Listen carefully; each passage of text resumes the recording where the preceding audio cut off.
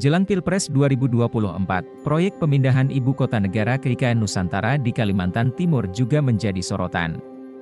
Capres nomor urut 3 yang diusung PDIP, Ganjar Pranowo telah berkampanye juga ke IKN Nusantara yang kemudian disusul Cawapres nomor urut 2, Gibran Raka Buming Raka.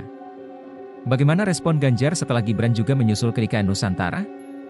Diketahui, Ganjar sudah lebih dulu melakukan safari politik ke IKN Nusantara sebelum Gibran. Disinggung mengenai kunjungan Gibran yang menyusul Ganjar ke IKN Nusantara mengikuti perjalanan safari politiknya, Capres PDIP menanggapi santai.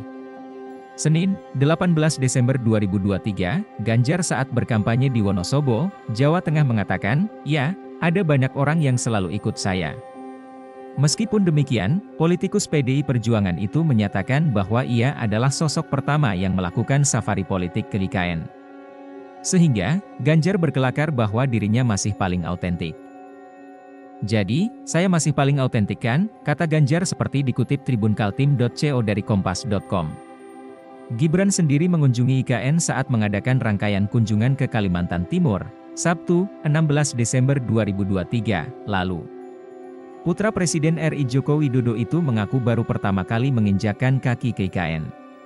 Kedatangan Gibran disambut oleh masyarakat setempat dan cawapres Prabowo Subianto itu diangkat menjadi warga kehormatan Dayak. Gibran dipakaikan pakaian adat Dayak, lengkap dengan beluko, topi mahkota kebesaran Dayak Kenya, kalung manik, dan mandau. Sementara itu, Ganjar Pranowo telah mengunjungi KN pada 7 Desember lalu. Saat berkunjung ke IKN, ex-gubernur Jawa Tengah itu berjanji akan melanjutkan proyek ibu kota baru tersebut.